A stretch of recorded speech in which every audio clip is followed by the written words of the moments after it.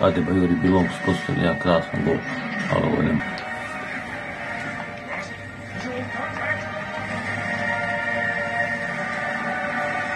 Song je centrirao prijem lopte, Adeba Jura prijem lopte, to je ta suština. I onda je upravo to suština prijem lopte, Adeba Jura i sve ovo kasnije je bilo mnogo jednostavno.